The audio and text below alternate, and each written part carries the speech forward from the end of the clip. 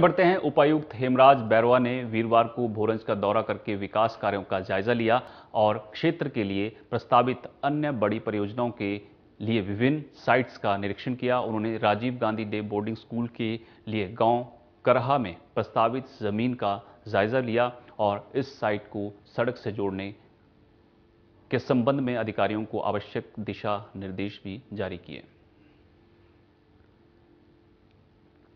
जी sir, आज ये पपड़ा पंचायत में किस तरह की विज़िट है सर?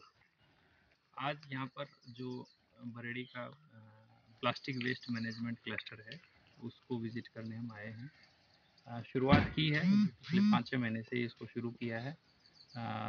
इन्होंने सत्तर किलो अभी प्लास्टिक कलेक्ट भी किया है।